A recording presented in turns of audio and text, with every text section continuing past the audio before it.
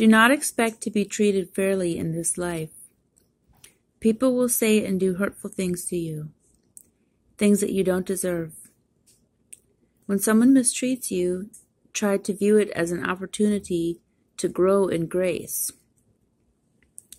You see how quickly you can forgive the one who has wounded you. Don't be concerned about setting the record straight. Instead of obsessing about other people's opinions of you, keep your focus on me.